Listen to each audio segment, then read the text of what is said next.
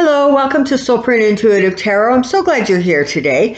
Um, so this is first of all, first of all, I want to thank you from the bottom of my heart for all of the amazing birthday wishes. Although I have to admit, I was really confused. So this is the sequence of events, and there's a lot to celebrate, lots and lots to celebrate. So on the 23rd of this month, so Sunday, um, Soulprint Intuitive Tarot, this channel, celebrated its one year anniversary. Uh, and we're just over 5,400 subscribers, so I am beyond thrilled. On March 3rd, so in a couple days, um, the Soulprint Insights channel is going to be celebrating its two month anniversary, and we have hit 1,000 subscribers. To whoever the 1,000 subscriber was, thank you because it's brilliant. That was sort of my hope and my goal and my intention, and it's always so lovely um, when intentions get realized.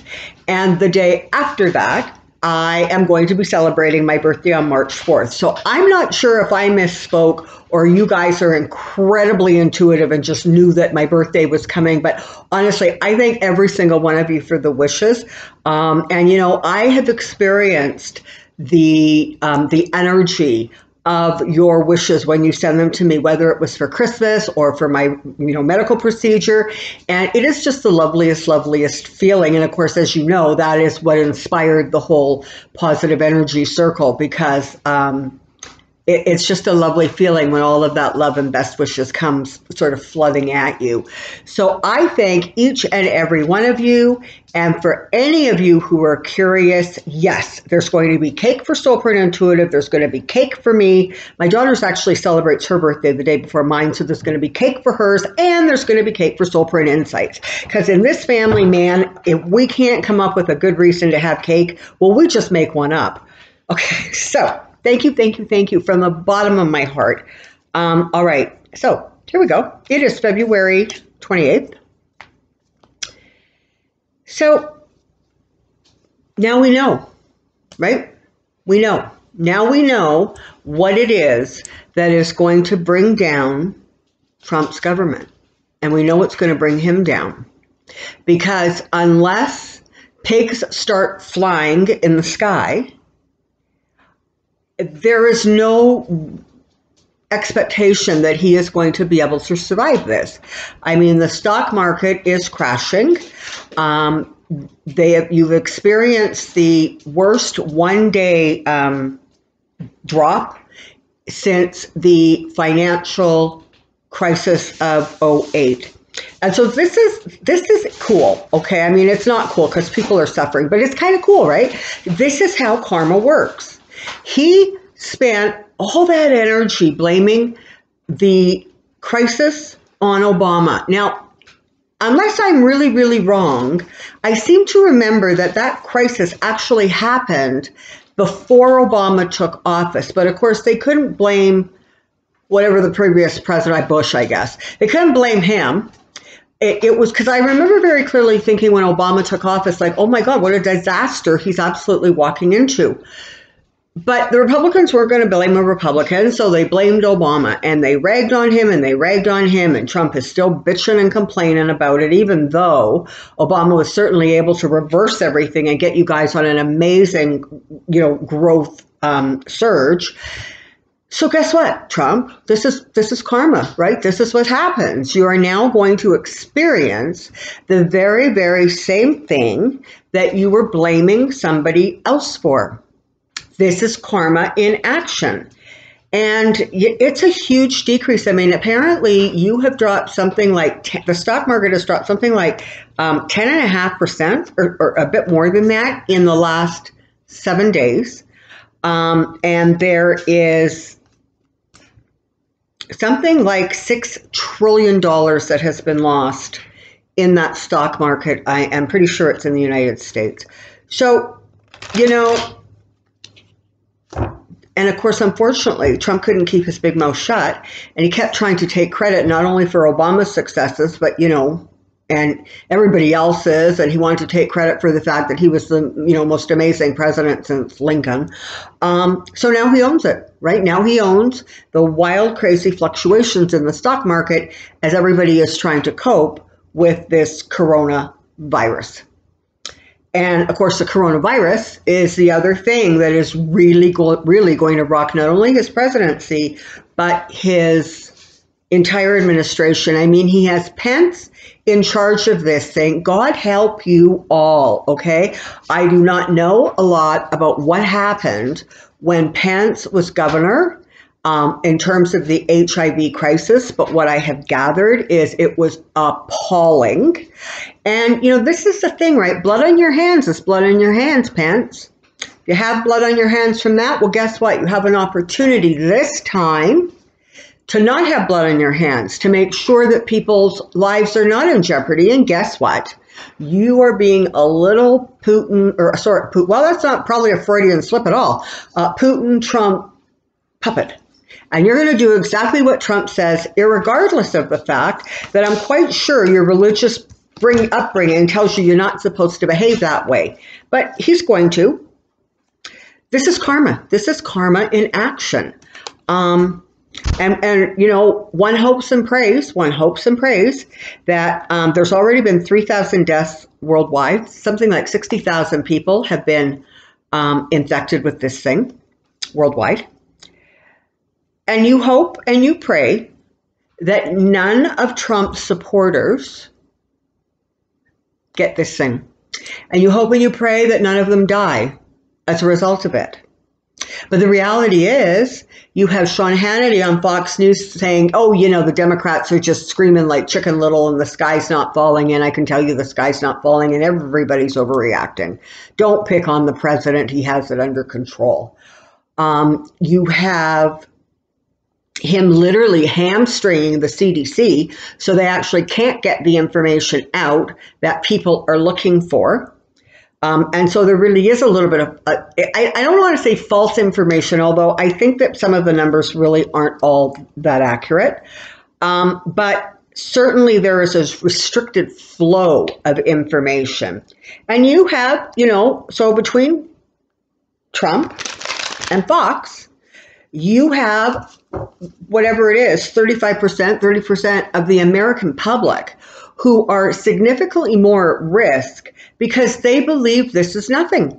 Nothing. There's nothing to worry about. Don't fuss. And I am not trying to cause panic. But I am also saying when you have something that is accelerating this quickly, it's really um, like malpractice to say, don't worry about it. You're just, everybody's overreacting. This is all because of the Democratic debate because they're fools. I, I, it's a good thing my jaw is hinged or I would have lost it. It would have just fallen on the ground and I would have probably stepped on it. So these people are under the illusion that there is nothing to be concerned about.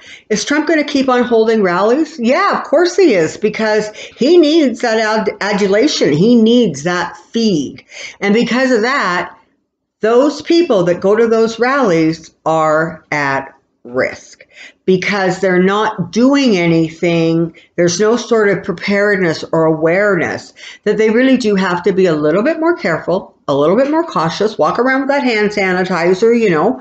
Um, and so, yeah, he's absolutely putting the very people who elected him and the very people he needs to elect him again in significant jeopardy. And at some point, that's going to start falling in on him and they're going to start turning because you know what? You can love Trump until the cow comes home, but if you start experiencing severe illness, never mind death, uh, because he's not telling you the truth because his ego is involved and he doesn't want to upset the stock markets, which are already tanking anyways, that's what you got right? They're going to get mad. It, it's it's not going to be a good situation. So, from what I can tell energetically, you know what? Absolutely, this is going to be a big part of the part and parcel of what brings this presidency down. Come on down. I have a question. I want to explore this. I want to see exactly um, what we can anticipate going forward. Um, and I'm not going to go on and on about the coronavirus. And frankly, I'm not even going to go on and on about the stock market, I hope, because of course, I'm never exactly quite sure what I'm going to say. But I really just want to focus this on how Trump is coping with this. Um, you know, there was a lot of speculation that he was probably um, a little bit over medicated. um, when he gave that rambling, ridiculous, full of lies uh, speech at the White House in the, the briefing room. Um, so let's see how he's coping. Come on down. Okay, so um, Trump through crisis, Trump through crisis, Trump through crisis. What fell out? yeah, yeah, the Eight of Cups fell out. So somebody's leaving in disappointment, right? Somebody is going to be sent on their way. Probably couldn't happen to a better guy. All right. Oh my goodness. Okay. So this is exactly what's happening right now. You have Trump pushing back with all of his might. He is defending himself. He is defensive. He is trying to spin things. Don't forget, the wands are about communications very often. And so that's exactly, it's about words, right? So that's what he's trying to do. He's trying to communicate one thing when the whole world can see that the whole world cannot see that what he is saying is absolutely it's not only that it's not accurate it's a blatant disregard for the truth. It's a flat out lie and worse it's a lie for self-preservation and self-interest. The world is watching. I, I want to tell you honestly if you're looking for um, accurate information. I know Marianne um, posted at Revealing Light posted um, the name of somebody, a, a, doctor out in Britain, and I have forgotten his name, but you guys are amazing. It was all through my feed yesterday on yesterday's video. Um, and you can get some really good information from him about what's going on. The World Health Organization, um, those are the places you need to go to. You almost need to go um, for your information to a place that is not in any way, shape, or form um, controlled by Trump or, um, you know, that he can um, exert pressure on. All right. Um, so, and, and of course, you got the stock market, and that is serious. I mean, it's not just you, right? It's not just America all of the stock markets globally are really, really having a hard time right now uh, because there is panic and there is fear. And frankly, you know, so one just creates the other, right? People are scared because of the coronavirus. They start selling off their stocks. That starts to bring down the stock market. People start get to get, you know, worried about their financial security for those who actually have money in the stock market. For the rest of the world, they start to actually worry if they're going to have a job and if their rent is going to get paid and if there's going to be, you know, the stuff available that they need and want to buy. So everybody's watching. This is a world deal. Okay, this is not about Trump and his little fantasy of being king with the crooked crown. This is the world. Sorry, excuse me. This is a world event, and it is a world event for the coronavirus. It is a world event for um, the stock markets. Unfortunately, it is more of a localized event for leadership stupidity. There are secrets being kept. Okay, I'm sorry.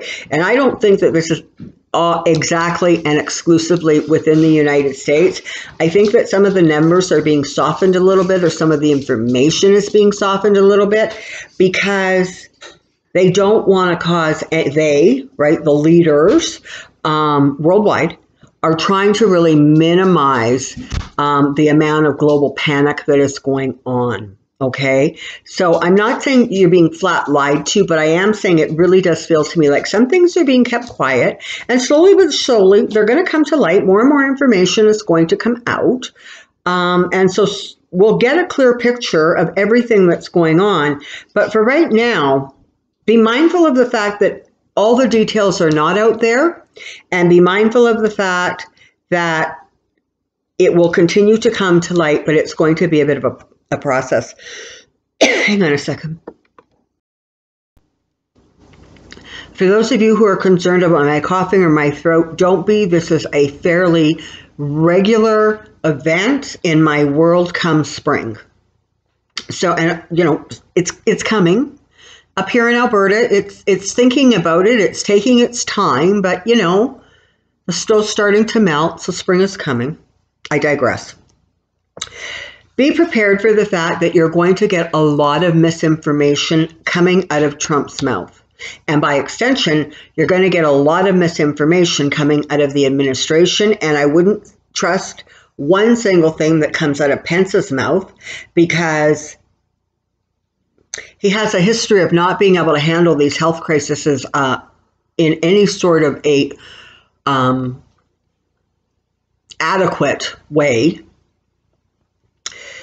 So expect a lot of spin, right? Expect a lot of poo pooing and people saying, oh, there's overreactions. Again, to everything, to the stock market, uh, to the virus, you know, to the Democratic conventions. It, it, it doesn't matter. Everything's kind of gone into a spin cycle right now. Um, and anything that can be said or done by Trump or, or the, the flunkies around him is going to be said and done to try to keep that backsplash from coming at him. But unfortunately, you know, since he wanted to own everything, um, he now is responsible for it. And trust me, he's not going to take responsibility. And the spinners are not going to suggest he should take responsibility.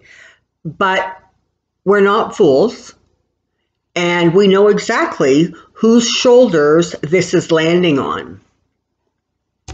So expect spin, expect distortion. Oh yeah. Okay, you know what? He's out of control now. All right. He is he is out of control. Um his emotions are so over the top. The deterioration is becoming more and more and more pronounced. And I don't mean month by month you can see a change. I'm talking almost daily. You can witness this deterioration of his mental capacity, of his ability to actually understand what is going on. If you watch that press conference the other day, um, you know, and he made the, some comment about the fact that, oh, don't worry about it. You know, the, the, um, oh, what is that word? The um, stuff that you get inoculated, the vaccine. Uh, the vaccine's going to be available, oh, you know, in a month or so. But don't worry about that even because you know by the time spring comes, it's all going to be gone anyways because the heat's going to burn it off. Give me a break. Um, but anyway, so that that doctor, whoever he was, jumped onto the mic, you know, the podium and basically said, okay, this is how it works. You know, it's going to be two or three months before we're ready to do testing, and then you do testing, and then it's another three months before, and then it's another six months before. You're looking at a year before there is any sort of a vaccine for this. And Trump literally was like looking at the sky and looking around. It was as if he was completely incapable of comprehending one word that was being said because it wasn't in keeping with his own internal dialogue. So, whatever is being said to him that he doesn't agree with these days, he's almost completely incapable of even absorbing what is being said. And so, because he can't absorb what's being said, he continues to live in his bubble of misinformation and lies where he is king. I think I'm probably going to name this video King of the Crooked Crown because that really is, you know, kind of what's going on here, right? He just lives in this incredibly dysfunctional fantasy world. And the people around him who are allowing this to happen, particularly his family, um, it is disgraceful and they should be ashamed. But like him, their own self interest take precedent over anything else. As the judgment gets harsher, and as he continues to try to steer this sinking ship um, into calmer waters, the deterioration and the rages are going to increase. Part of the reason that he handed this whole thing off to Pence literally is because he doesn't want the handling of the coronavirus anywhere on his plate. He's, he has found the scapegoat. But it's not going to work simply because Trump and Pence are sort of um, tied together as president and vice president. And like I said, when people actually start getting sick and they realize there, there's no testing kits, There's nowhere near the number of testing kits. There is um, no protocols in place. Um, people who yesterday, of course, the big news was that there's another whistleblower. My goodness, they're going to be the bane of Trump's existence. Um, that whistleblower was saying, you know what, the, the, people who were dealing with the people who were coming off the ship um, they weren't in protective gear. They weren't protected at all from the coronavirus and more. Then they got onto planes and they were flying around the country. So the more the judgment comes down on him, the, the kind of the more insane it's going to get. And he is not going to be able to push this off on Pence, although Lord knows he is going to give it a mighty try. There is worry and anxiety. There is worry and anxiety for everyone okay? People of the United States, and by extension, of course, people of the globe. I mean, this is hitting everybody, so everybody's concerned. They're concerned about the virus, they're concerned about the stock market, they're concerned about a shortage of supplies, and they're secure, they're concerned about their jobs actually holding on to some stability or security because if things go really, really bad, even if it's only bad with the stock market, it's not good. Okay. So there's a lot of anxiety going on. There's anxiety within the administration. There is anxiety um, within the people of countries. There's anxiety within the leaders. And then you have Trump off in La La Land.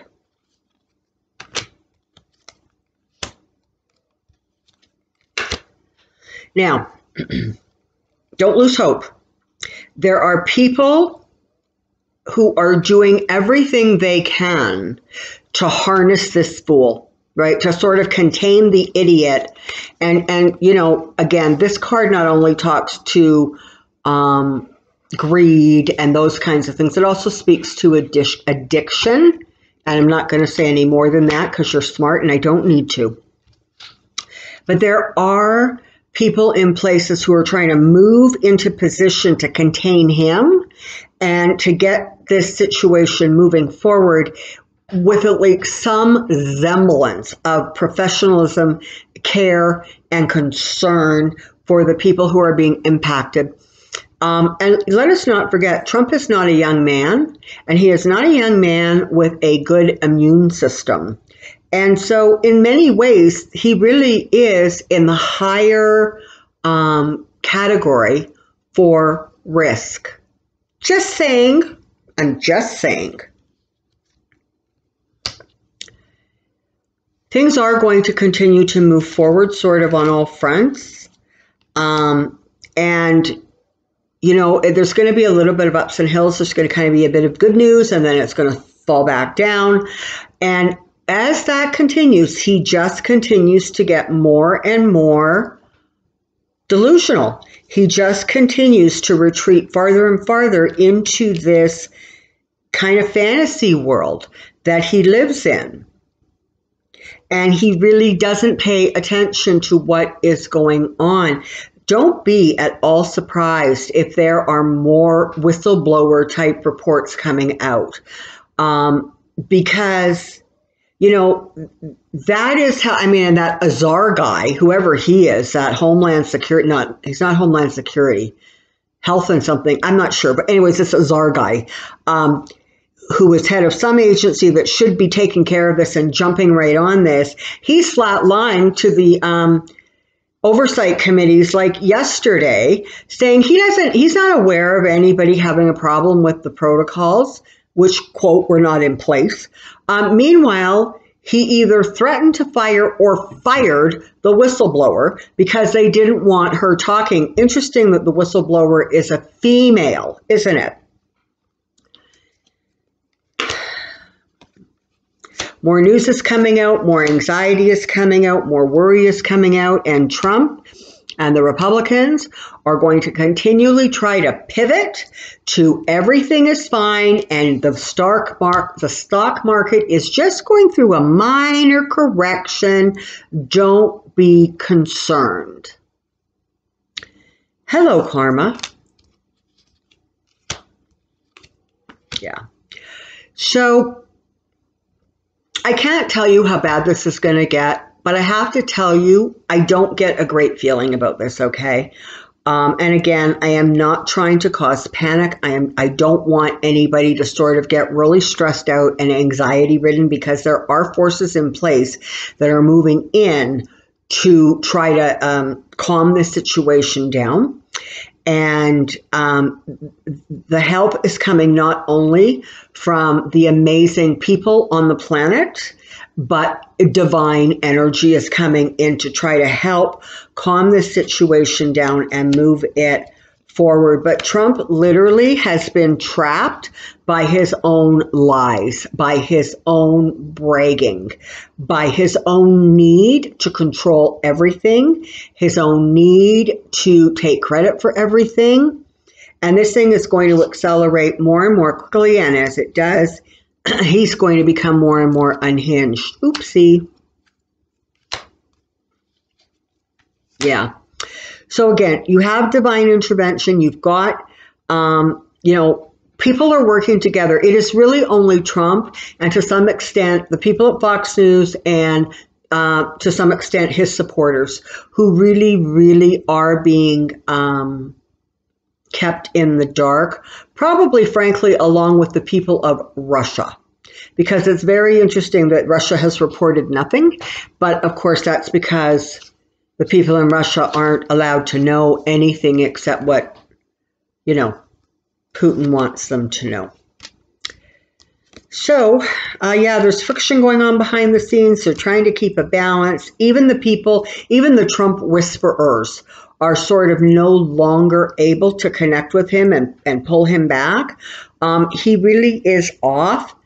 Um, okay, this is the expression, all right?